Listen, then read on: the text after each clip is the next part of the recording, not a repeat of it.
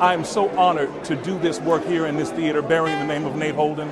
I was born 150 yards from the front door of this theater. So as a child, I navigated my way to play with friends, to have a hamburger, to get my haircut, to go to grammar school and middle school with all of my siblings, and to return in a role of cultural leadership here at the Nate Holden Performing Arts Center is a complete joy for me.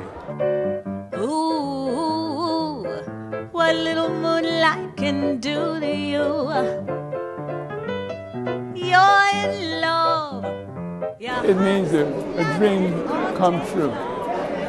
Uh, when I uh, became councilman of this district, we had a theater named the Ebony Showcase, and the earthquake took it away, and it had to be replaced.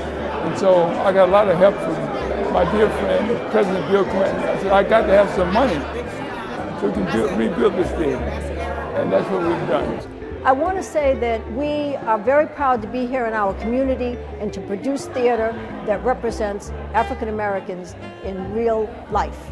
After all the help I give her opening her, her kitchen and, and all of that, and she said no. I believe that this theater is what's needed in Los Angeles. I mean, first of all, it's named after Nate Holden, who was an incredible human being and deserves to have as much respect put upon that name as possible.